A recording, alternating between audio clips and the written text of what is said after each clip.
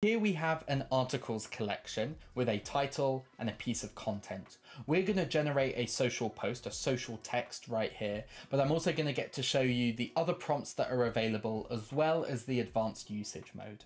So let's go ahead and create a new flow and we'll call this writer. We're going to do this based on a manual flow trigger. So you click a button in the sidebar. We'll make that available on the article item pages. Now this will only return when triggered the ID. So first thing we want to do is read the whole item so we can get the content.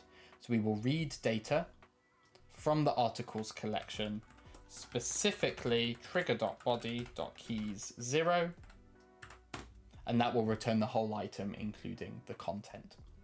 Now we're going to use the AI writer operation. Let's take a little look at it together.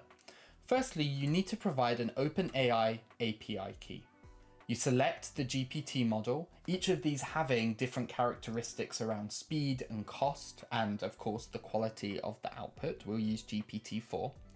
And you can use one of our selected prompts, fix spelling and grammar, short social post, make longer, make shorter, create an SEO description, or a custom prompt.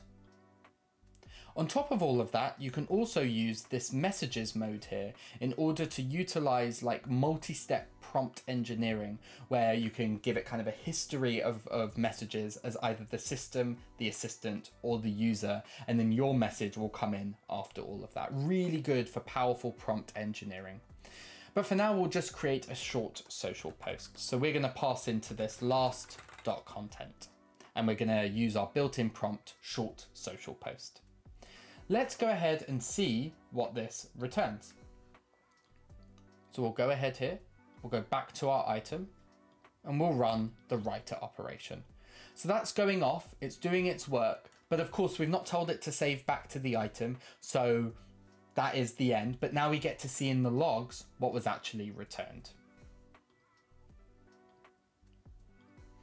We see here the text is indeed returned. So what we can do is we can add on to the end of this an update data operation. We will update the article, which triggered this flow once again. So trigger.body.keys zero. And we are going to update the social text property with the value of last. Like so. And that's everything we need to do. Of course, the flexibility comes in the configuration, the custom prompts, and indeed the multi-step prompt engineering that is available to you. For now, if we click this manual prompt and we wait a few seconds, we should receive a much shorter, I mean, this is like a fairly long piece here. It's a transcription from a podcast. That is a social post that we can go ahead and share. So that's how the AI writer operation works. I hope you find it useful. I'm sure you can see the many, many, many utilizations of it. Um, and yeah, thank you so much for joining me. I'll see you in the next video.